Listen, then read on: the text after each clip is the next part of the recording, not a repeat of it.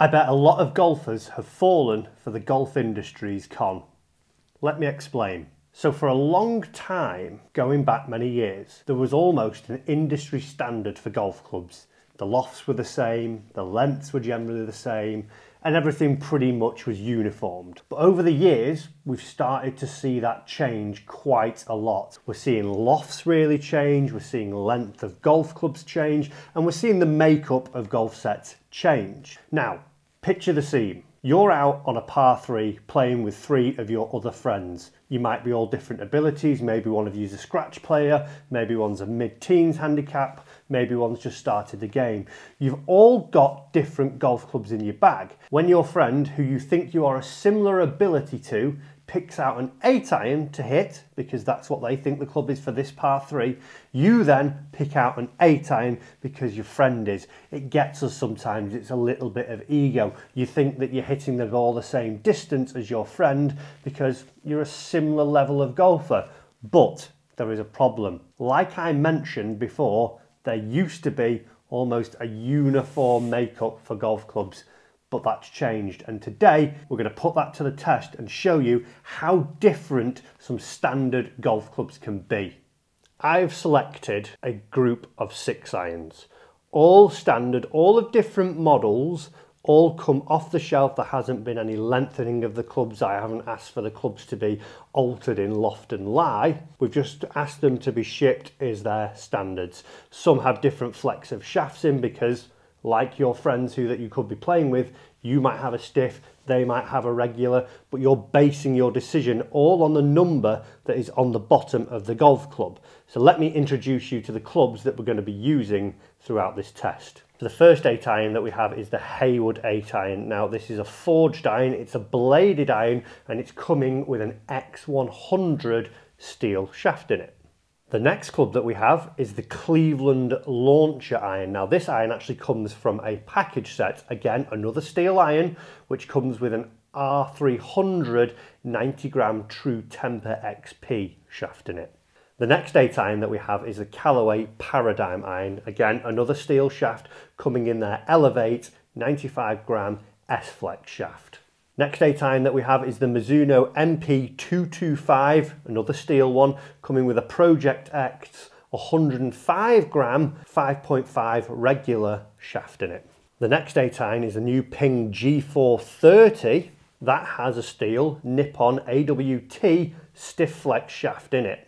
And the final 8 iron that we have is the King Cobra Tour iron and that comes in a Dynamic Gold Tour Issue X100 shaft. So with each of those irons, one of the other things that we have to bear in mind is that they all have different technology components in them. Something like the Haywood compared to maybe the G430 or the Paradym iron the Paradym and the G430 are bursting with technology. There's carbon in there, there's hollow body designs, there's different metals put inside the head to help with flex points throughout the face, as where the Haywood is more of a classic blade. It's just a forged piece of steel with a sort of cut through the middle that helps just move the weight around a little bit. So is that actually going to affect the performance of them? So before I actually hit these clubs, there's two things that I want to know. I want to know the length of the club and I also want to know the loft of the club because if some clubs are longer than others, which we have seen happening nowadays from the golf industry, technically that should mean if I get a longer shaft, I get more club head speed. That's if I actually find the middle of the club because if I lengthen the shaft, it's harder to actually find the sweet spot more consistently. So the first thing that I did before hitting some shots was actually measure the length of each golf club. So we have three clubs that are measuring the same length, which are the Callaway, the Mizuno and the Cobra, 36 and 3 quarter inches. We then have the Haywood and the Cleveland coming at 36 and a half inch and then we have the ping coming in at 37 inches. So with the ping being a little bit longer, does that now mean that I'm going to swing it a lot faster than say the Haywood because it's got half an inch difference on it? We're going to hit some shots and find out what the clubhead speed is with all these clubs.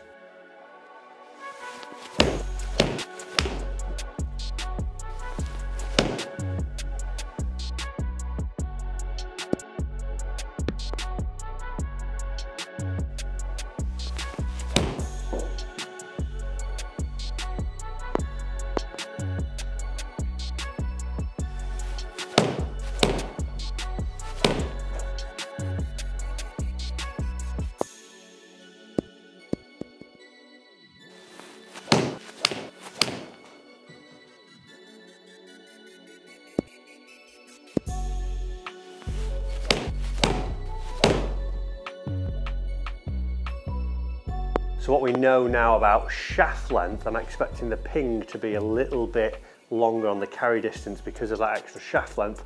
I should maybe see a little bit more clubhead speed.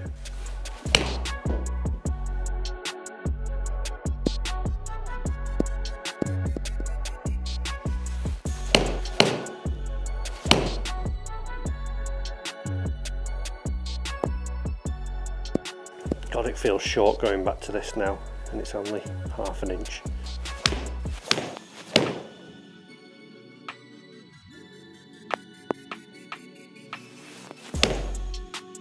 So I've collected some data there by hitting a load of balls in the studio and interesting to see how the club head speed is matching up to club head length. If we just throw the table up on screen now, what we will see is in fact that the ping is the fastest club head speed coming in at 87.3 miles an hour versus say something like the Haywood that is coming in at 85.5 miles an hour. The Cleveland that is also the same length as the um, Haywood comes in at 83. Now the Callaway, the Mizuno and the Cobra are all very similar bar the Callaway was actually swung two miles an hour slower than the other two that, which were the same length as it. So knowing that, that again comes back to my point of if you're playing with people and you're falling for the trap of he's hitting a 7 iron, she's hitting a 7 iron, I should hit a 7 iron, are your clubs the same length or have they got longer golf clubs? Have you got shorter golf clubs or have you got a longer golf club? You could be swinging it faster, which might lead us to actually hitting it further. And that's the second point I want to test. So what I did was head up to Warrington Golf Club and I got the guys in the pro shop to measure each loft of each iron. So as we can see there from the table now, there's five degrees difference between the Haywood and the Ping. That lends itself to a big yardage gap. If we worked off the idea of one degree of loft meriting maybe three to four yards, we're going to see that five degrees of loft could potentially lead up to 20 yards difference. It's time to hit some shots, bearing this in mind and also bearing in mind what we know about the clubhead speeds because of the shafts. Have a little comment down below, which do you think is going to be the longest and which do you think is going to be the shortest of the golf clubs? It's time to hit some more shots and see what it comes out with. I could go in the hole that, or not.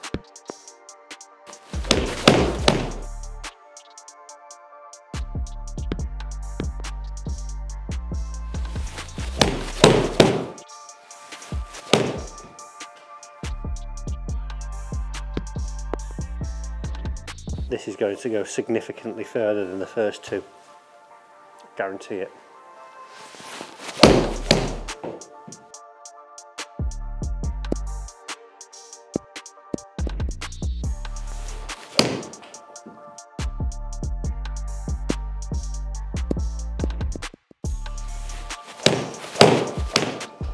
Bit skinny, but it's got chances of going in.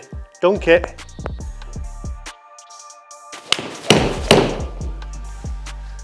Love that shot today.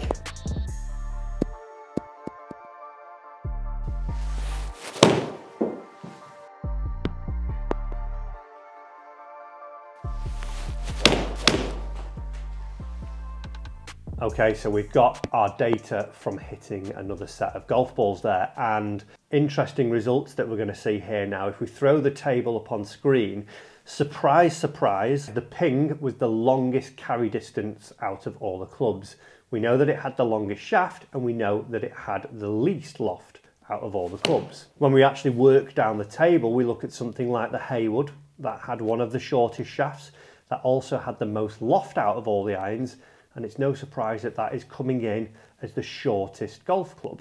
When we look at some of the others as well, when we think of technology in the golf clubs, if we look at things like the Mizuno, the Callaway, and the Ping, these are clubs that are more designed for distance as opposed to playability and workability. So we see with those three that those are in the top three when it comes to distance. If we look at things like the Cobra, which is designed for a little bit of distance, but also designed for playability, workability, maybe aimed at a player who has a slightly better handicap and has a little bit more control of their golf ball. They want to know how far they are hitting each club. They're not too fussed about trying to gain distance. They're more in the area of trying to gain control. So we see that that one comes in second to bottom, but that's not really a worry if I was buying those golf clubs because I'm not looking for loads of distance from the iron. When we see the Cleveland iron, that's one that is designed for forgiveness. It's designed for actually a little bit of distance, but again, more about getting the player the most out of their iron, even if they're not striking it well. So no surprise to see that that isn't topping the charts of distance. So I think there's a big takeaway from there. We know now that there is no industry standard anymore. It's very much like clothes and shoes and things. You might be a size 9 in one shoe in one manufacturer, but you might be a size 10 in the other. And that's the same in golf clubs. And I think what we need to learn from this is if you are A, going to get some new golf clubs, it's definitely worth trying them out, even if they're second hand new golf clubs, whatever they may be, because you're going to see a variant of results from each club. Also, another thing to bear in mind is when you're out on the golf course, you've got to know your distances because if you're going off what your playing partner is hitting, are they hitting the same length golf club as you? Do they have the same loft as your 8 iron that you're going to select? And is their head actually designed for distance or is theirs more a player's golf club? Because knowing these factors now, we see that there is a big variance in distance. We can see that there's nearly 20 yards between the ping and the haywood. So that's going to have a huge effect on when you're out on the golf course. You could be severely under clubbing just because your friend has more of a distance golf club that's a little bit longer shafted. The big takeaway, guys, there's no more standard golf clubs out there. So next time you're going to go and choose some, make sure you try them or at least know what you've got in your hands. Thanks for watching and if you've enjoyed the video, make sure you uh, check out one of the other ones here. And I'll see you with another experiment very soon.